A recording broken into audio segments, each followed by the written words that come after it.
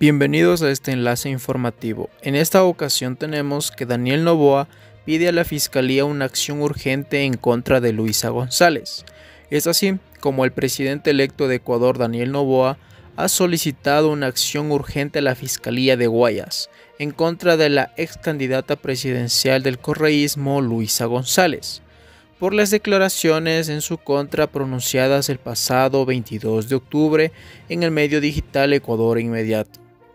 En plena campaña electoral, Luisa González lo acusó de evadir impuestos.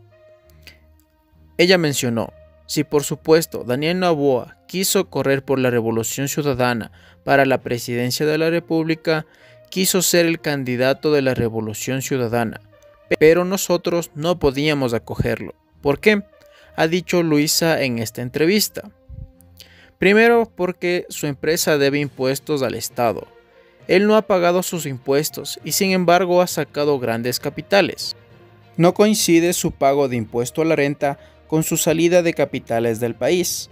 Entonces obviamente no podía ser candidato de la Revolución Ciudadana a agregado.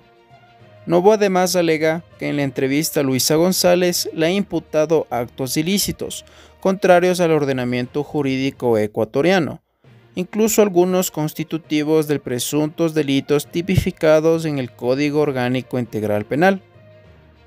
Y pide que se materialice los videos que se encuentran en diversos medios digitales, así como los tweets emitidos eh, que contiene dicha información, de tal manera que puedan ser utilizados como una prueba en, en una acción judicial que anuncia que presentará en la función judicial.